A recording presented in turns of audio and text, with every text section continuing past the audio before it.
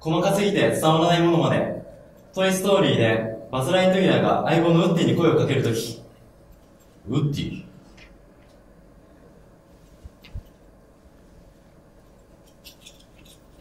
改めまして、こんにちは。鈴木真純です。静岡県出身の二十歳です。えー僕の名前の真という字が、このあし、この字を書くんですけれども、訓読みで明日、意味が、まばゆい夜明け、輝かしい朝という意味を持ちます。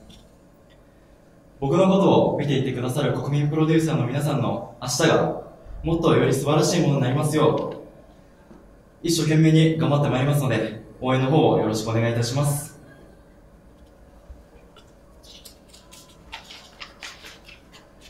皆さんの明日がもっと素敵なものになりますように。明日はきっと輝く。ファイティン